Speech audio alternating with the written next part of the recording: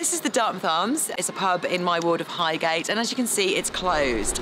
It's been closed since January, and this is because of a terrible company called Faucet Inn, who bought it a few years ago and have been running it into the ground and trying every trick in the book to convert it into flats to sell it off as an asset. We've designated it as an asset of community value, which ought to protect it and stop it from being run as anything other than a local pub. Faucet Inn have been appealing this, and they haven't reopened the pub. They promised they would within 16 weeks of January and now it's the summer and it's not open again. So we've been protesting at their HQ, um, calling for them to either sell it to somebody who'll run it as a pub or lease it out to a company that wants to use it. We're also protesting this Wednesday the fact that it hasn't been reopened.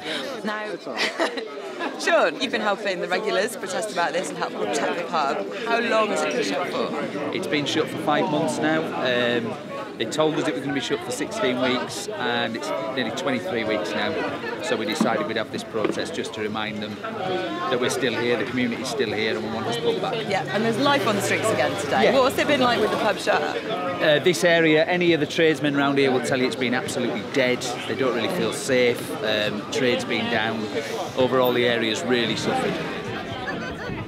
Camden Greens have been working hard on the issue of pubs. This is something that's happening right across our borough and right across London, where pubs are far more valuable as properties. Meanwhile, we're going to keep fighting for our local pub because it's important to our local shopping area, it's important to our community, um, and it's important for the life of London that we keep these assets in use and don't let them be sold off for profit.